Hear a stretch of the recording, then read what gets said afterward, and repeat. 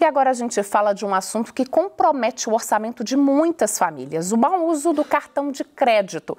E olha, agora toda atenção é pouca, já que os juros dessa modalidade de pagamento voltaram a subir e atingiram 429,5% ao ano, um aumento de 7,1 pontos percentuais, de acordo com o Banco Central. Aliado ou vilão? O cartão de crédito é um item quase indispensável na carteira dos brasileiros. Mas é preciso ficar atento, porque o plástico milagroso pode virar uma dor de cabeça no final do mês. A conta sempre chega e, para quem não paga o total, os juros podem chegar a quase 430% ao ano.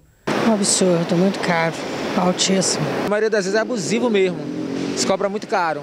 Você já teve alguma vez que parcelar sua fatura, alguma coisa assim? Várias vezes. E o que aconteceu? Aumentou muito o valor? O valor triplicou. Toda vez que você não paga o total da sua fatura de cartão de crédito, o valor restante é financiado. É o chamado crédito rotativo. Esse valor, com juros, é adicionado ao valor da próxima fatura.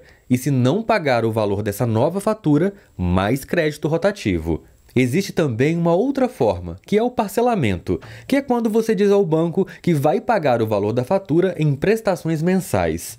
Neste caso, os juros são menores, mas ainda assim chegam a quase 181% ao ano. É, as pessoas perguntam por que, por que existe um juros violento, subversivo dessa natureza. Geralmente na economia você tem alguém que tem superávit, alguém que tem renda além do que ela despende, do que ela gasta, e essas pessoas vão para o setor financeiro emprestar dinheiro, existem pessoas que têm dívida, têm déficit. Né? A maioria de nós que demanda, na realidade, recursos do sistema financeiro, utiliza cartão de crédito, utiliza consignado. Essa conexão entre quem tem dinheiro e quem não tem gera geralmente uma coisa chamada inadimplência né? Porque algumas pessoas não vão pagar. No fundo, no fundo, aqueles que pagam vão honrar o compromisso daqueles que não pagam. Desde janeiro desse ano, existe uma lei que limita os juros do rotativo a 100% do valor da dívida.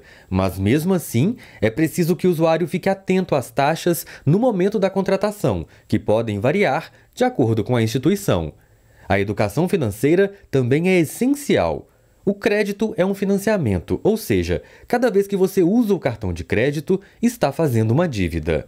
O professor ouvido pela reportagem também reforça a necessidade de diferentes ofertas de crédito por diferentes empresas, para que assim aumentem as possibilidades do consumidor. Quanto maior for o número de instituições financeiras de menor escala de menor, de, menor dimensão e, e, global, inclusive, mais focadas no desenvolvimento social e econômico dos países, preocupadas com a questão do desenvolvimento dos países, maior vai ser a possibilidade, na realidade, da gente ter acesso a um crédito mais saudável, melhor, mais focado nas pessoas de baixa renda e de classe média. Enquanto isso, quem já passou por um aperto com dívidas de cartão e que vive o dia a dia entre as taxas e as condições das empresas, deixa a dica para que ninguém fique no vermelho. Pagar à vista e não parcelar.